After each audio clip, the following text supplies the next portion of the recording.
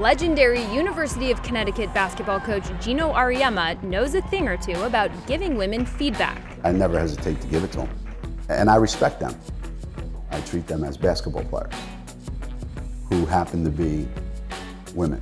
You want someone to be honest with you. You know, I don't want a coach to just, you know, beat around the bush and say, oh, well, you know, you did great today. If I didn't play well, I want to know why. You know, I think that's the biggest thing, that he's honest with you. If you didn't play well, he's going to tell you. If you played great, he'll tell you you played good, but also what you can work on. Auriemma's brutally honest, tough love approach has catapulted the UConn Huskies to record-breaking success in his 31 years as head coach. Congratulations, coach, on your 11th national championship. Six perfect seasons, a 90-game winning streak, four consecutive national titles.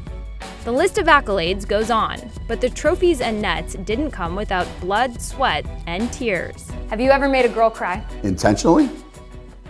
No. Have girls ever cried? Yes. As you give them feedback? Yes. Sometimes they've had a lot going on emotionally that, that we as coaches didn't know about. So as we're talking about certain things, we hit a nerve and it just kind of comes out. It's very emotional, you know, you have your highs and lows, everyone goes through it. You know, with him, it's not about winning and losing, it's just about getting the best out of every player.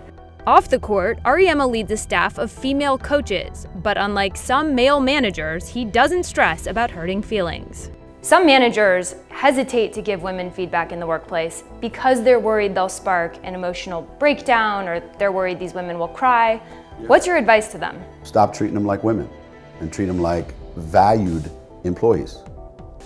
Just because they wear a dress or they uh, are feminine, that doesn't change what their job description is. That's, I think, being disrespectful, and that's talking down to them. But you're tough on them. Mm -hmm. What's the difference? You never want to go after somebody's heart or somebody's core. You want to go after what they did. While his straightforward feedback isn't always easy to take, Auriemma's former players will tell you it pays off.